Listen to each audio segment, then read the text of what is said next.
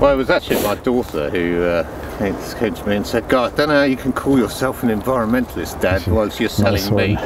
and um, I don't know Nice that one. I'd ever called myself an environmentalist, but it did.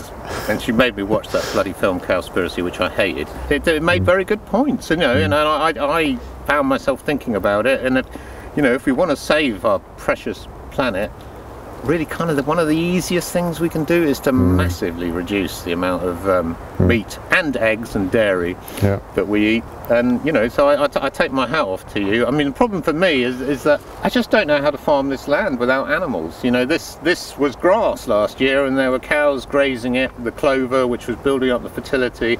Uh, I, I, I don't think it's impossible, but it would be a steep learning curve. Um, but the science is overwhelming, isn't it? It is. You know? it You know, more emissions than all transport on the planet put together. I mean, that's staggering. Yeah, It is incredible. And and, and uh, you know, and we've got to change our habits. Yeah, yeah.